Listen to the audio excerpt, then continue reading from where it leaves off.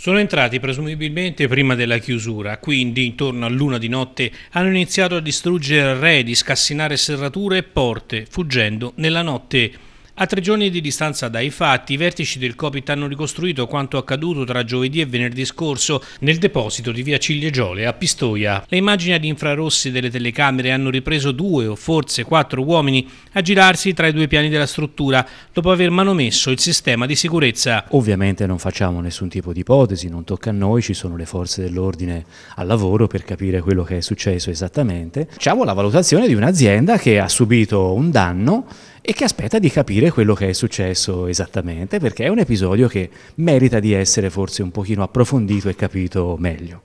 L'allarme è scattato intorno alle 5 all'ingresso dei primi addetti per il turno della mattina. Tutta la documentazione è stata raccolta dai carabinieri che stanno conducendo le indagini. La prima stima dei danni subiti si aggira tra i 10 e i 20 mila euro. Un episodio che ha lasciato più di qualche dubbio. Gli autori non hanno toccato infatti i mezzi né hanno rubato i molti oggetti di valore negli uffici e nell'officina, portando via soltanto 79 euro del fondo cassa ed una macchina fotografica usata. Al di là dei danni materiali, questo fatto come è stato vissuto dall'azienda? Ma è stato vissuto con la giusta dose di indignazione e anche un po' di sconcerto, non era mai successo nella storia del Copit, un episodio di questo genere. Ci dicono anche tutti i dipendenti più anziani che da più tempo lavorano in azienda che una cosa così non si era mai vista. La reazione dei dipendenti dell'azienda, hanno spiegato i vertici del Copit, è stata immediata.